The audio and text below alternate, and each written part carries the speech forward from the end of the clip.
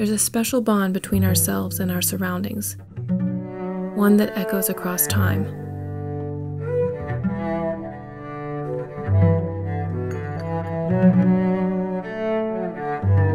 My grandmother formed such a relationship with the rural mountain village of Helvetia, West Virginia. Ten years ago, I promised her that I would tell her story.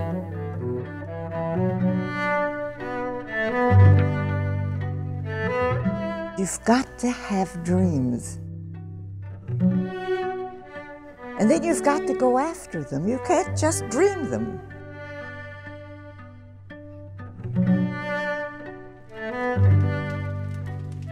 Born in a ballroom of fiery blaze, Eleanor Fahrner Mailloux danced through life to a waltz's beat.